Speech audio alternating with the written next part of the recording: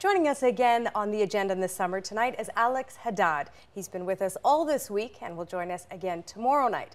Last night, we discussed how our approach to health concerns might need a rethink. Tonight, we turn a lens to the new tools that are available to the healthcare system and how these technologies could change the future of healthcare. Hi again. How are you? I'm very well, thank you.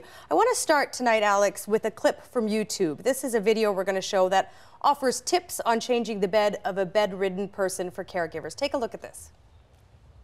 When caring for your loved one, um, when they're in the bed, if they need to be changed or to assist them with rolling, here are some techniques. What you'll want to do is have them bend up their knees, okay, and then have them reach across their body, roll. Okay. Of course, if you have a hospital bed, you would want the rail to be up so that they wouldn't roll too far. Also, um, you want the bed to be as high as possible so that you're not leaning yourself over. You want to be at a work, good working height. Okay, Alex, it's almost like an instructional video uh, of how, how to do this. I'm wondering what kind of role can such videos like this play in our healthcare well, system? I wish I had had this when I was a medical student. nobody taught me. I went to university almost for 20 years, and nobody taught me how to uh, move a, a person who is bedridden hmm. appropriately, or even less, how to educate a caregiver on how to do it. So I think this clip is, is giving us many lessons. Okay? One, that um, we can use technology to learn from experts on how to do this so I can fill my own gaps as a health professional. In fact, I use these videos to learn myself how to do things and I prescribe them to caregivers. The second is that it's highlighting the importance of other health professionals as part of the team. You see, that person wasn't a physician, he was a physical therapist, probably. Okay? And the third is that there are huge gaps that we have left in terms of meeting the needs of the population. And the needs of caregivers is a big one. And, and, and caregivers, for example, in Canada, it's estimated that probably one of every five adults is looking after somebody else. In, in the majority, women, average age 45, hmm. employed, mm. okay, who have kids and probably a spouse or parent to, to look after, uh, with very little support very little support from the system. And when we look at series of studies on the well-being of caregivers, we are horrified to see that at least 50% of them are experiencing chronic diseases as 50, a result. Five zero. 50, five zero, as a result of looking after a loved one. So uh, a lot of the burden of care is falling on the shoulders of this group that I would like to call the largest invisible minority. There is no gender equity here, unfortunately. And, uh, and we are creating yet another group of, of chronic disease sufferers. And we need to do something very urgently. In Canada, I think we estimate that they contribute the equivalent to $80 billion a year in unacknowledged and recognized, you see, uncompensated labor. But not only labor, it's labor of love. And they are being punished for loving somebody else so much. So those are the types of people that could use, you know, the instructional video that appears on YouTube. People are also turning to websites, things like Wikipedia and Patients Like Me, um, for all kinds of things. And I'm wondering, where do those sorts of things, Patients Like Me, Wikipedia, where do they sort of fit in uh, where for people to share their medical stories and tips? Where does that fit into the, the bigger picture? It fits beautifully in, in what we need. Uh, you see, uh, before all these technologies, we go back in time, even before physicians existed as a profession. Uh, we relied a lot on our own ability to learn how to deal with our health problems. We relied on each other. We relied on our neighbors. We relied on our friends. We relied on our community. These technologies now are allowing us to do that on steroids.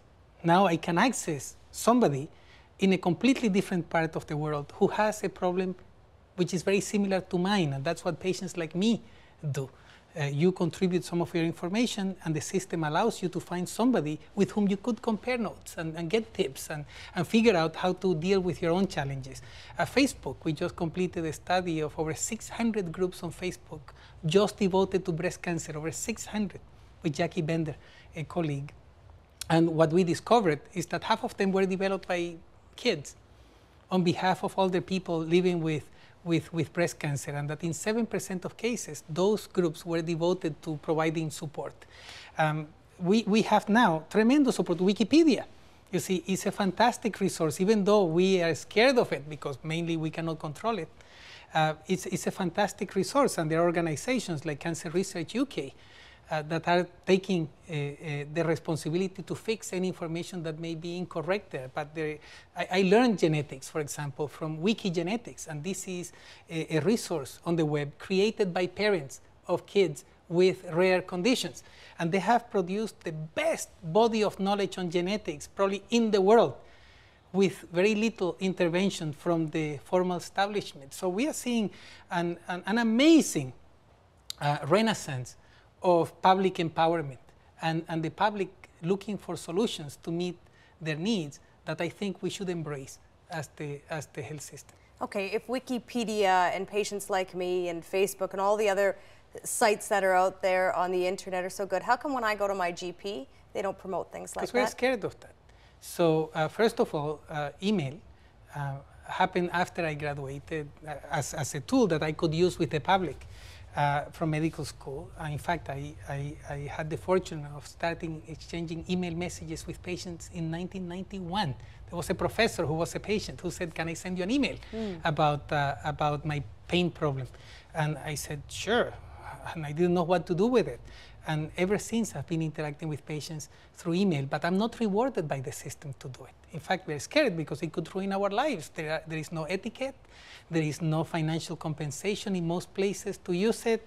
Um, uh, whatever is done there stays there, so, so we may be facing uh, very high levels of, of, of liability, okay, risk, um, and, uh, and somehow uh, email, Facebook, uh, threatens our power base, you see. So, so we may feel that we are losing the control to which we, we think uh, we, should, we should have.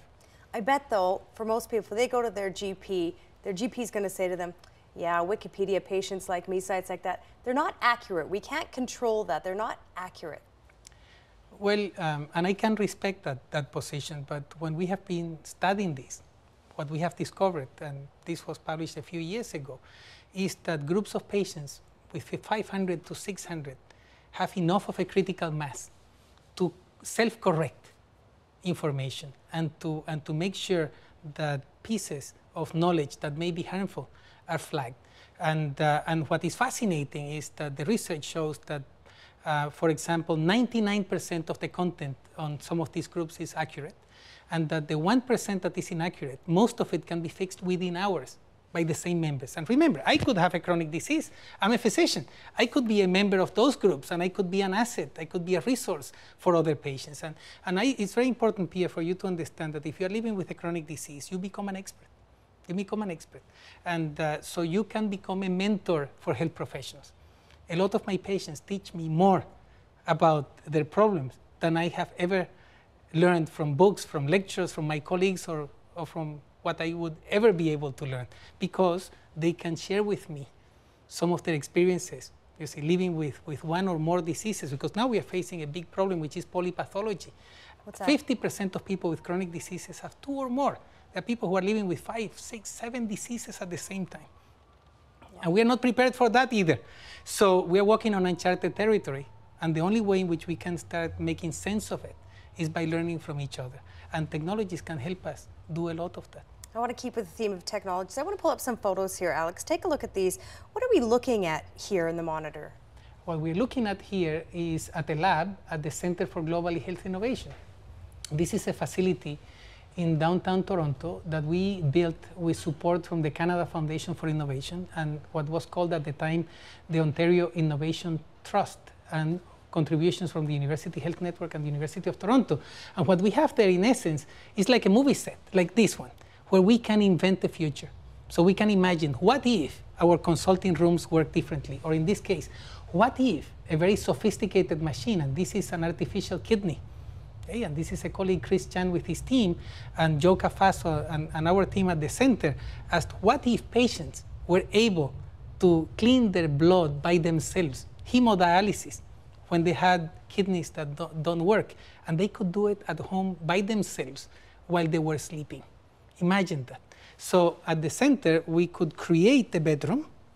Uh, we could invite people to guide us through this process, and together we reinvented and recreated, you see, uh, the management of a very complex disease outside the traditional environment So- for better results. So it keeps people from having to go into the hospital to get their dialysis and so on and so forth. I'm wondering though, when you talk to patients about this possibility, about them taking more control over their own health care, how do they react? Well, in two ways or more, but at least two big ones that I would like to highlight today. So, some people say, sure, I want to do it, and provided that you change the preposition to with. Let's do it with each other. Uh, the other, and this is starting to happen more and more, people are saying, mm, we have a financial crisis, the healthcare system is unaffordable, are you going to dump things on me? Yeah. And, uh, and we need to pay attention to that because the risk is real. Our emphasis on self management can be, you see, um, exaggerated, and, and we may end up doing more harm than good. So, so we need to be careful. So it can be embraced or it can be rejected as two extremes, and we have seen every other possibility in the middle. What about healthcare professionals? Because it really is handing over the reins of power a little bit to the patient. How do they react to this? I would say most health professionals would be okay if the outcomes of the patients were equivalent or better, and that happens in many cases. And two, if they were not penalized, if they were not penalized financially or if they were not penalized in terms of recognition, if they are also part of the process. Here we are not talking about replacing the human component, it's rethinking it. You see, it's reimagining our roles. You see, what's the essence of a physician today? It's not clear. You see, it's not what it was 50 years ago, I can tell you. But they may not be getting penalized, but they also wouldn't be getting, you know, money if you're doing your own, if the patient's doing their own dialysis. So that seems to be a bit of a detriment for healthcare Well, but professionals if I have embrace more time to listen to my patients and I don't have to rush a consultation, okay? If I, if I don't need to spend five to six minutes just to, to collect the same fee I would collect if I had one hour, then we may be able to start doing some other things that we are absolutely convinced we should be doing, but that are very difficult to do today. So there's no fear of embracing new Oh, technologies? Of course, we are afraid of technology. I'm afraid of technology because throughout our history of humans, we have been incredibly good at turning a tool into a weapon. And these information and communications technologies can become tools of mass self destruction. Okay? So we need to figure it out together. The key word here, you see, is together. The key preposition is with. Okay? We need to do it with each other because we really don't have answers. We have opportunities and we have risks. And the more we embrace them and explore them together, I think the more likely would be for us at least not to have regret. Okay, we just have a few minutes left, but I want to bring up one more uh, uh, photo here. This is a Skype video, Alex, that we're going to look at. Tell me the story behind this Skype call. Well, um, I am Colombian by birth, um, so I'm some Canadian Colombian, and on Sundays we tend to have video conferences with our families. So on a, on a Sunday, I was talking with my brother, and then that kid who is there on the left came, elbowed my brother out. She was 12, that's my niece, Nicole, and she had her sister, who was a baby at the time. And she said, Uncle, Uncle, I'm very worried about her. I said, What's, what's wrong? I said, Well, I'm worried because I think that her belly button is not right. They didn't do a good job when she was born. I want you to tell me uh, that if it is wrong and what to do about it. I said, Show it, show it to me. And she just put her closer to the camera, and that's what, what's happening right there at that time. And I looked at it and I said, It looks very good to me. And she was disappointed at the beginning. She said, How come? I said, Yes, it's okay. And she said, Oh, I said, Well, you should feel happy about it.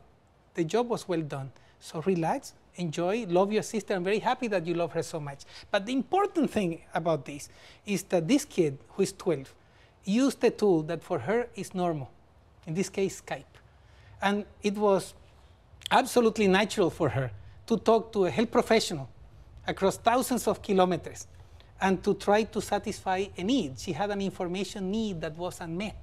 And she used this tool, and the tool was never noticed by her while we are still struggling within the health system to figure out how to use the telephone.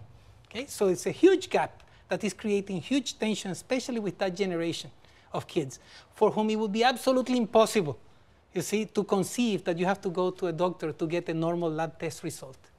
You, say we struggle with the telephone, but in Ontario we have telehealth. I've used it before. yeah, you but can you phone. call your family doctor? Uh, no, but I can get medical advice over the Okay, phone. Okay, but if you need your family doctor, can you call him or her? Could you access your health record now? I bet you can access your bank statement on, on your smartphone. Okay?